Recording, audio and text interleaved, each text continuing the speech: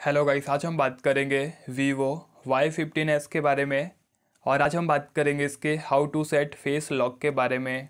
सो so, video start करते। उससे पहले आप लोग हमारे यूट्यूब चैनल को सब्सक्राइब कर लीजिएगा बेल के आइकन को प्रेस कर लेना है। First of all settings open करें। सिक्योरिटी पे क्लिक करें।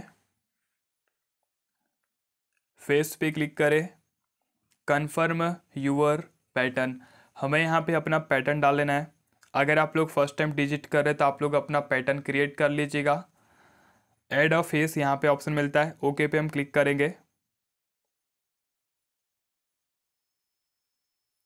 Registration complete. ओके पे हमने क्लिक किया।